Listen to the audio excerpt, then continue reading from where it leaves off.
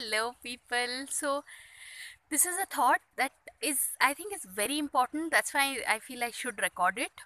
Uh, you know, people, it's a beautiful sunset, and I can watch these uh, tall uh, coconut palm trees and all. So, it's like uh, I'm telling myself, oh my god, I need to record, I need to record so that, uh, you know, like before once the uh, sun sets, then it becomes dark, then I can't record. But I just realized that sometimes taking that time to relax and just soak in the atmosphere itself is very recharging. And uh, so once you recharge that way, you can do that much more work or effort and also. So that's what people uh, most across the planet you'll only hear the phrase work hard, work hard. But I think it's important to to take those few seconds, minutes, that time to relax and unwind also because that that's when you can be the best version of yourself.